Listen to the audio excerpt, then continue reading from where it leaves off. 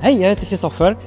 Kristoffer Sivers Svedjeby är en eh, spraykonstnär från Sverige och jag är i Honningsvåg för att måla den här uh, sopcontainern som ska stå ute på Knivkälldodden. Målet med containern är att konstverket ska inspirera människor att plocka upp sitt skräp och slänga det i containern. Det er jo et blikkfang, så du kan ikke unngå å ha dårlig samvittighet hvis du ikke gjør det. Hoppas verkligen att det här kan bidra till att vi får mindre nedskräpning. Tror eh, den kommer.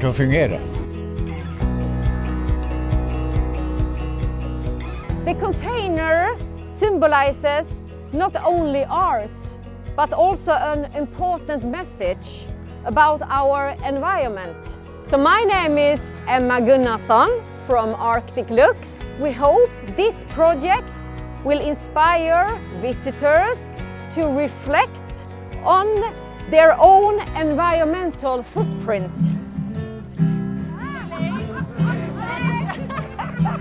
One of these days I will go and these stones into nothing else. And I will sing to, sing to the bottom of the sea.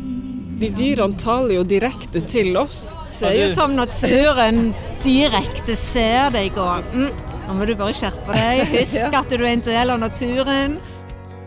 We found out that there are approximately 10,000 of people who uh, go to this hiking trail yearly. There are no place to leave the garbage for those who are doing this hike.